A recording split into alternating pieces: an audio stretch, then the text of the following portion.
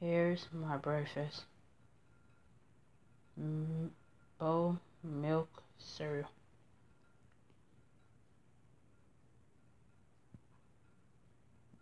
Basically, cereal. This is my cereal for breakfast.